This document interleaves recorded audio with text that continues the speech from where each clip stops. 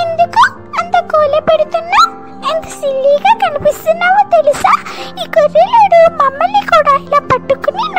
నడుస్తాడు కానీ మేము ఎప్పుడు ఇలా కొల్ల కొల్ల పెట్టము. మర్యాదగా చెప్పిన మాట వింటాము. మిమ్మల్ని గొర్రెలోడు జాగ్రత్తగా చూసుకుంటాడు. మీకు స్నానం చేపించి మేతకు తీసుకువెళ్ళి మిగతా జంతువుల నుంచి కాపాడి కంటికి రెప్పలా చూసుకుంటాడు. కానీ నన్నేమి చేస్తాడో తెలియదు కదా. నన్ను వండుకుని తింటాడో ఊళ్ళో అమ్మేస్తాడో ఏమిటో నా భయం నాకు ఉంటుంది కదా.